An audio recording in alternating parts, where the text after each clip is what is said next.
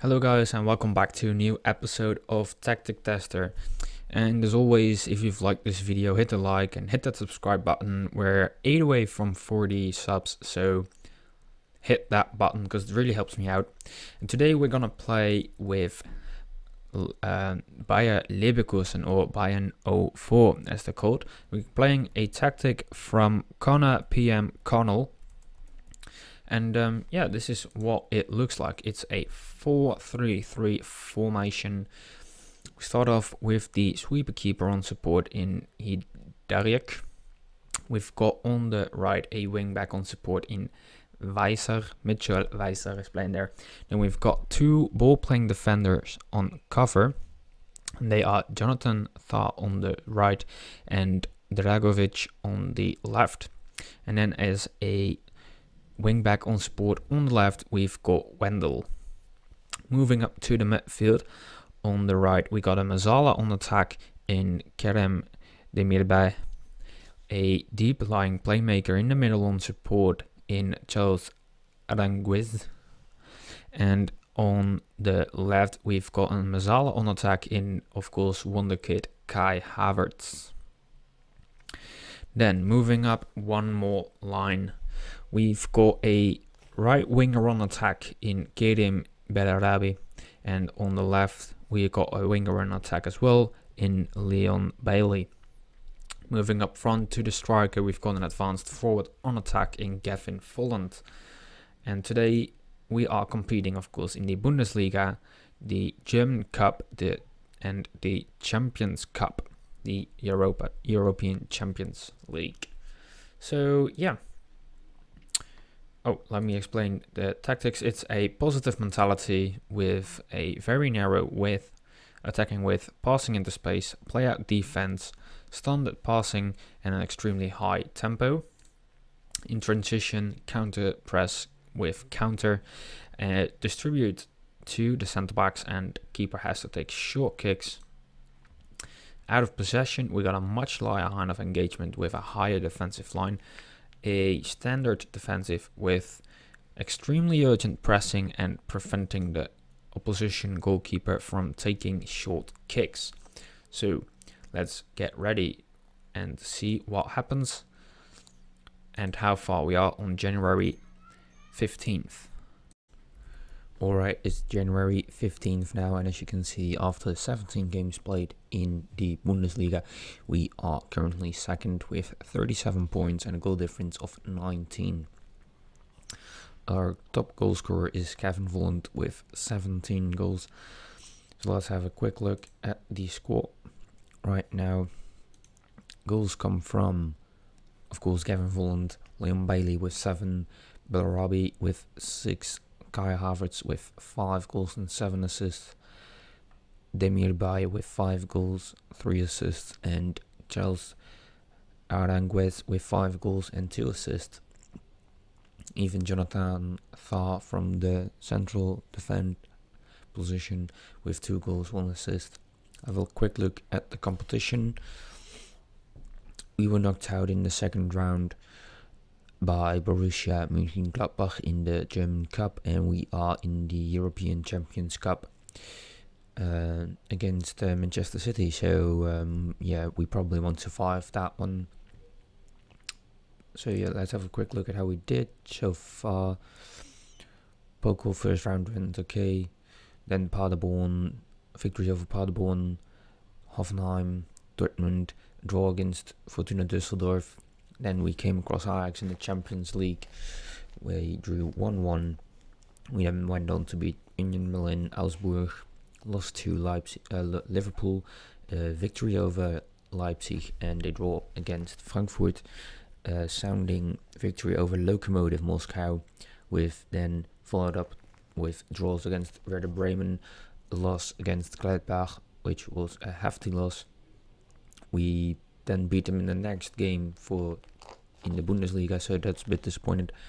We then drew against Moscow, followed by victories over Wolfsburg and Freiburg, a 2 0 loss against Ajax, and a 2 1 defeat against Bayern. We then went on to beat Schalke, Liverpool, FC Köln, and then a draw against Hertha Berlin and a loss against Mainz. So yeah, we've got the rest of the season. We've of course still got the Champions League. We got no pool to be in, but we're still high in the league. So let's go to the end of the season and see how we have done then. Alright, it's now the end of the season, and as you can see, we finished second with 73 points, only 5 behind Bayern Munich. So I think that's pretty good. Um, yeah, first let's see how we did in the rest. We got knocked out in the Champions League by Manchester City. Uh, the final hasn't been placed yet, but let me show you what we've done. We got beaten four of uh, or two five on aggregate. So, uh, but yeah, it's against Manchester City, so it's not too shabby.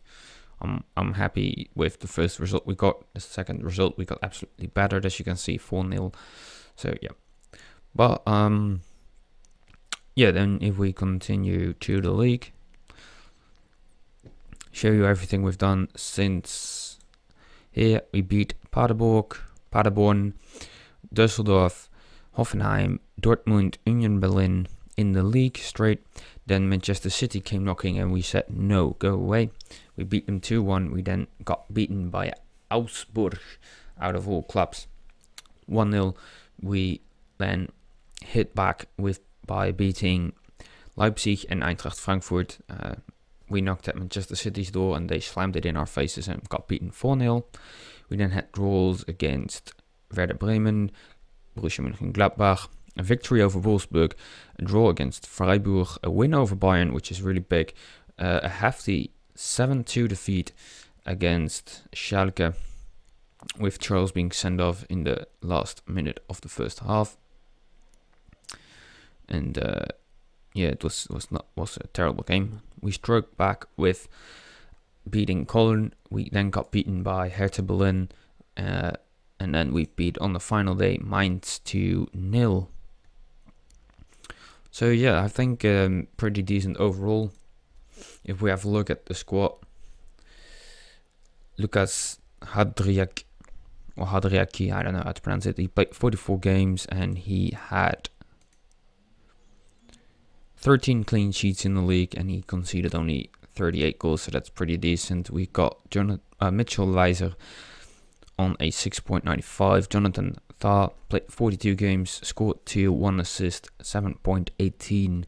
Alexander Dragovic, being a bit older now, probably would be replaced in the squad. Same goes for Wendell and um, Weiser Hadilek.